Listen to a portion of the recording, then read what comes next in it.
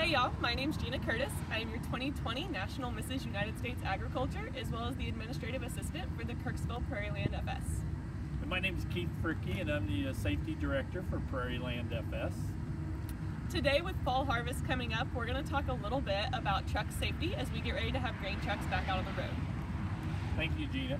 So some of the things we need to look at with our grain trucks, probably start with the right down on the road, the tires. Checking for good condition of your tires, tread wear on the tires, and we need to make sure we've got better tread on your front tires as opposed to the back tires.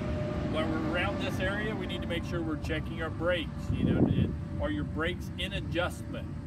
Sound quality brakes are something that we need to make sure we've got on, on every vehicle.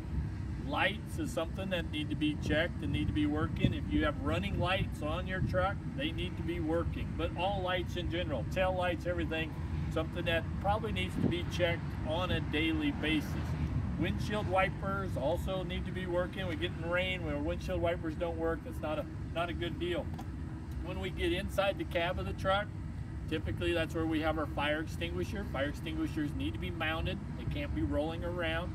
We also need to have the three reflective triangles. Those are always two things that DOT does look for and they do, they do check. So make sure you take a good walk around of your vehicle every day before you get in and before you start to use it. Thank you, Keith. As we get ready for the fall harvest season, we want to thank all of the farmers for all the sacrifices that they make, and we wish everyone a safe and happy fall harvest. Thank you.